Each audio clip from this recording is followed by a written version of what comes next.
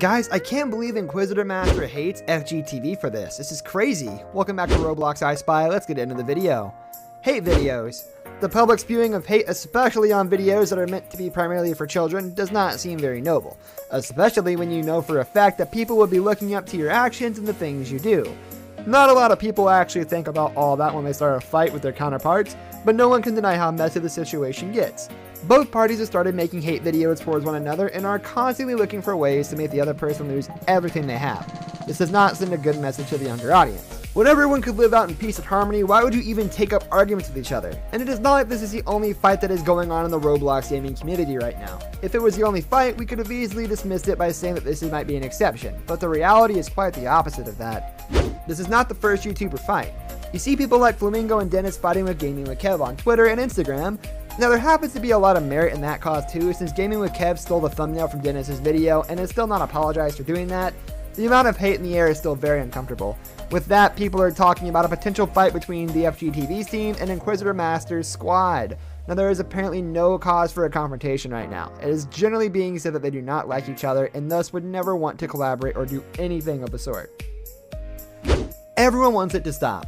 The messy situation of fights and controversies is becoming very toxic, and no one likes that these two popular creators are on bad terms. While none of them has explained the reason behind this hatred, but it seems that things have gone personal. The fans want to know what's going on, who was wrong, and how we can be friends again. How did this happen? Before we get completely off the track and forget about the topic at hand, let's talk about what really happened between FGTeeV and Inquisitor Master. Now these YouTubers are pretty successful and famous on their own, and both of them have a certain level of expertise on their own.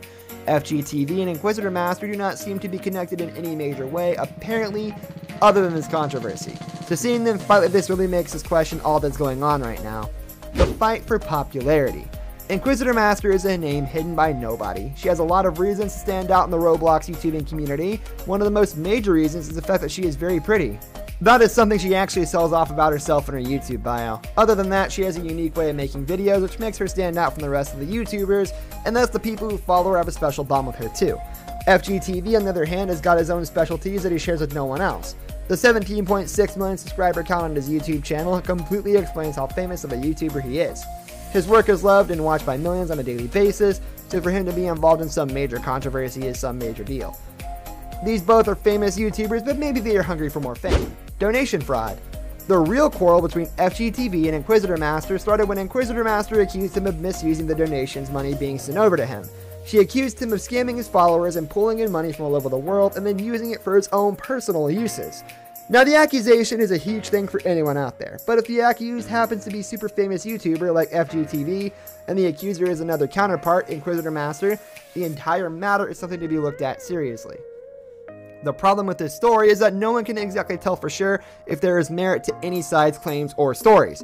The only way to actually find out if FGTeeV had been misusing money he was receiving as donations is by doing a forensic audit of his money, and as the technicality of this term suggests, it is not something you can do out of a whim. A big accusation like a donation fraud is no small matter. One can easily involve the authorities in this, and the whole quarrel seems to be justified. On the other hand, if Alex's accusation turns out to be fake, then the question still rises. Why would she have hatred against a fellow content creator?